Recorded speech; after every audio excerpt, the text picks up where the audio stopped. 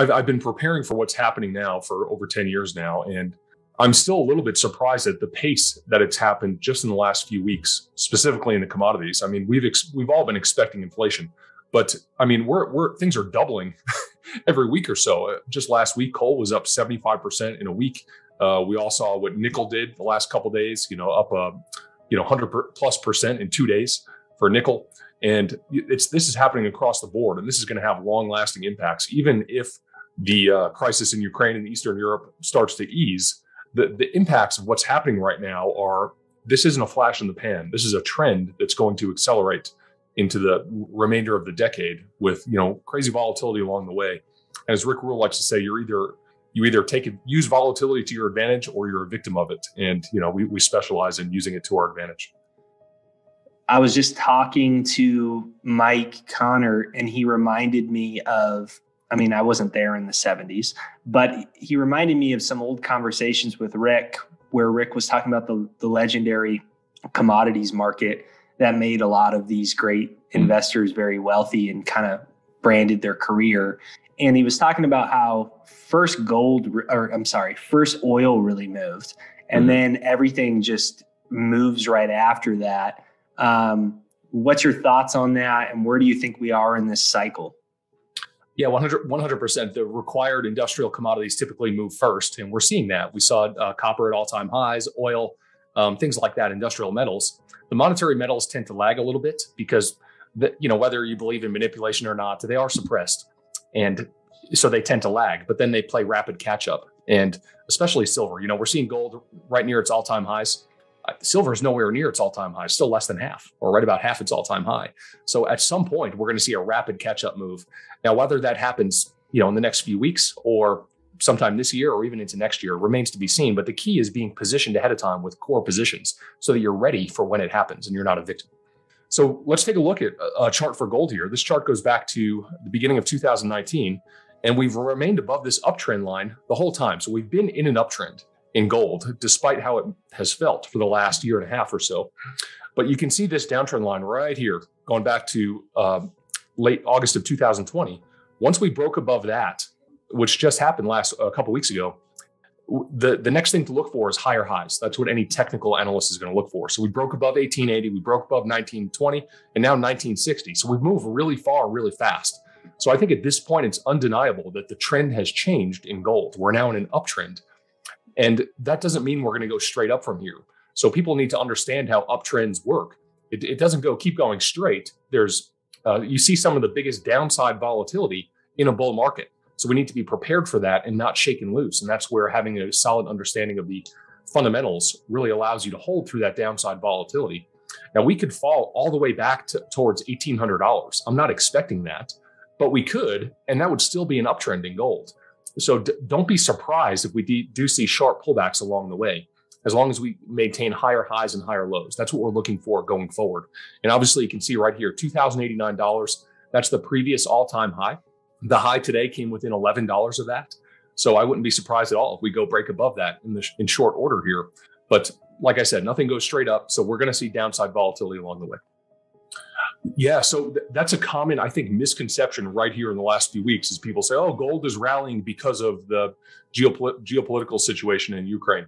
That may be partially true, but I've been watching. I sit at my computer almost all day watching this stuff, and gold had turned the corner and it began moving up before Ukraine was in the headlines. And let's not forget, we are expecting the Fed to do their first nominal rate hike on March 16th. And typically, what happens is gold rallies right after that first rate hike at the beginning of a rate hike cycle. Well, once once something happens enough times in a row, the market begins to anticipate it. So I think this time the metals were anticipating a rally following that rate hike. So it happened beforehand this time. And then of course the geopolitical situation just added fuel to that. So there is a war premium that's built in right now and if tensions de-escalate in the next few weeks, we could probably see some of that come out. But that doesn't mean that this is all based on what's going on in Ukraine and Russia right now. I, I do, I'm firmly convinced that we're going to see higher highs and higher lows going forward. Let's take a ch- uh, look at the chart for silver because what's really interesting here is whenever gold makes a new all time high, silver always follows suit. So last or in 2020, gold made a new all-time high, right? Went up to $2,089. Well, silver never made a new all-time high above 50. That has yet to happen yet. And I, I think it's all but certain to happen at some point in the not too distant future. And you know that could that can mean a few quarters. Um, it doesn't have to mean days or weeks, but it's coming. I'm very convinced of that. So when we look at the chart for silver here, you see I call it the silver squeeze downtrend channel because that began on February 1st, 2021 at the uh, you know the big silver squeeze movement, which was you know if, if anyone denies manipulation, you know that was probably the most obscene manipulation I've ever seen. You know, you have a day where re- you have all-time record physical demand, and then the price falls when supply is stagnant. So it defied the laws of supply and demand, and that started this downtrend line. Well, last week we broke above that downtrend channel. It's very clear here for the first time, and that makes thirty dollars the initial price target. We're not quite there yet, but I think um, once silver gets above thirty, you know, the, the path from thirty to fifty probably happens faster than most people think. Now it's a tall, it's going to be a tall order getting through thirty dollars. We might go up there and tap it, pull back quite a bit, you know, consolidate for a few weeks, and then get back above it. But getting above thirty this year, I, I think, is the main objective. And then once we get through 30 50 dollars, there's not much technical resistance between thirty and fifty.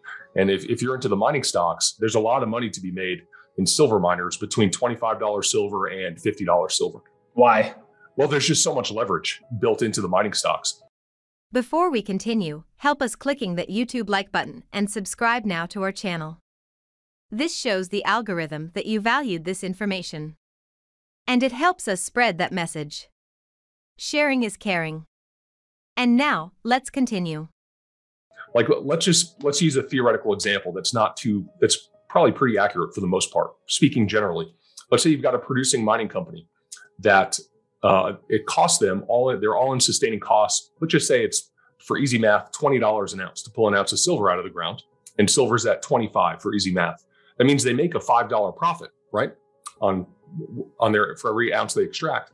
Well, if silver goes from 25 to 30, that's a 20% rise in the price of silver, but their, their operating margins, their, their profit just doubled, even though the price of silver went up 20%. So you, that little illustration right there illustrates the leverage in in mining stocks.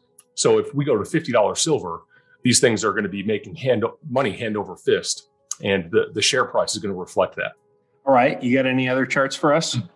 Well, I've, I've got a lot of charts, but I, I think these ones kind of show where we're at. Uh, why don't I show one more for a GDX? This is the senior gold mining ETF, which is also characteristic of a the start of a major major uptrend, a major upleg. Typically, what happens is gold leads followed by the senior gold miners, because that's where big money and institutions go. And then the retail typically tends to follow suit. And the ju- more speculative aspects of the sector tend to follow suit and play rapid catch up. So that means the junior silver miner is silver. So we're starting to see that. Um, but it's the senior gold miners that have been leading. So here, here's a chart for GDX, and you can see how fast we've run from down here around $28 up to over $40 today. So that's a really wow. nice move in just a short period of time. So you can see this is almost a vertical move. Moves like that don't just keep going on that trajectory. So this this can allow you to plan for it. And I just sent out an, an alert to our premium members today, giving three strategies to consider right here, right now. And I, I took some action myself. But don't expect it to keep going up on this trajectory. There's going to be downside volatility.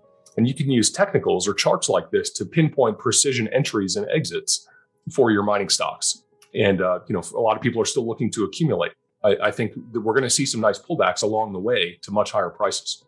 I, whenever people talk about the fundamentals for silver, even uranium and platinum, it's like the more re- research you do, the deeper you dive, uh, the more the more uh, bullish fundamentals you uncover, the more bullish you come. It's just you become. It's just what happens. So with, with silver, it's an extremely small market. There's only there's less than a billion ounces mined every year, and at $25 an ounce, let's say there's a billion dollar, a billion ounces between recycling and mine supply. At $25 an ounce, that's 25 billion. That's nothing in the grand scheme of things when we're talking about globally. That's such a small market. And you've got growing industrial demand for EVs, you've got solar, other industrial applications for silver.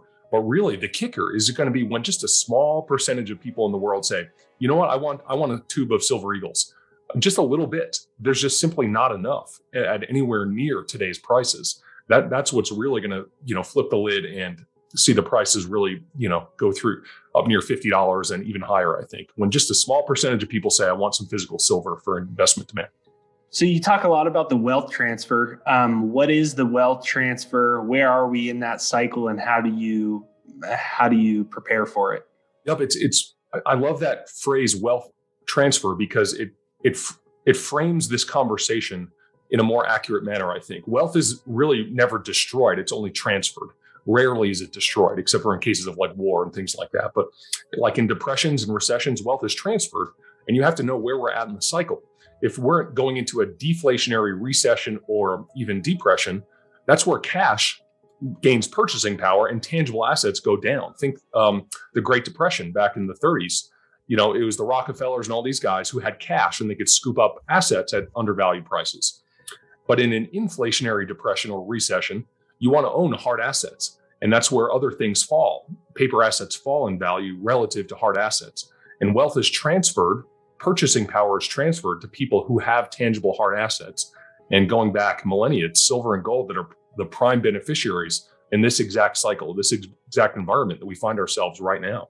There's nothing new under the sun. What's happening right now happens over and over and over again throughout history, even going back millennia. Governments debase the currency and hard assets benefit. It's just what happens. Do you want to know one thing about crypto? I made over 3000% in profit in a few weeks. Fact is, the traditional financial system, the traditional money system makes you poor, not rich. If you want to earn 500,000, 1 million dollar, you have to wait until you're 50, 60, 70 in the traditional financial system and you probably will still be broke. And you will be old. This is not a sexy combination as you can imagine. But the question is, how can you start in crypto and make these profits? Where to invest? Where to start? My name is Gunnar and I'm from Germany as you can hear and things are a little bit different in Germany. More about that later on. Fact is, there are lots of different cryptocurrencies. It's a gigantic universe where beginners and professionals get easily lost. But there is light at the end of the tunnel. There are seven key steps you need to follow to become successful in this market. You have to know them and if you fail one of them, it's literally impossible to succeed in this market. Just an example, one of the key points is your exchange and one of the biggest are for example Binance and Coinbase.